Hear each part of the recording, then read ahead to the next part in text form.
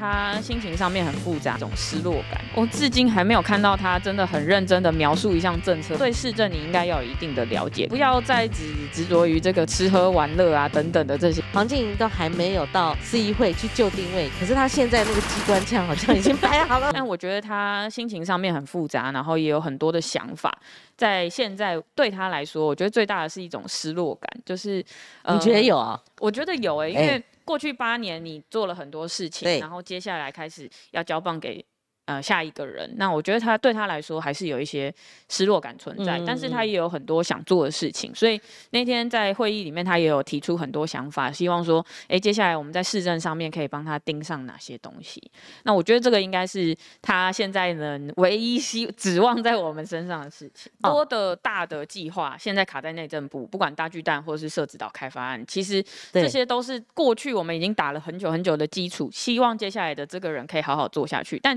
蒋市长，我觉得他这几天的选选完投票的那一天开始，媒体对他有一些采访嘛，或者是希望他可以讲一些跟市政有关的东西。对，我至今还没有看到他真的很认真的描述一项政策给我听，或者是他没有对呃任何市政有一些想法。所以我觉得，虽然他可能在头痛他的小内阁啦，就是哎生不出人啊，或是呃人找不到啊，找不齐，但是我觉得对市政你应该要有一定的了解跟一定的这个。想法，那我觉得，呃，不要再只执着于这个吃喝玩乐啊等等的这些，因为 那那天在交接的时候，市长送了他一堆那个书啊，什么社会住宅啊，或者是什么呃不同的 SOP，因为以前是 SOP 狂，他就喜欢把一些 SOP 写成一本书，然后就把这些经验传承给当做教材给他。但是蒋市长送了他一系列的门票，就是那个看表演的门票这样。哦，但是。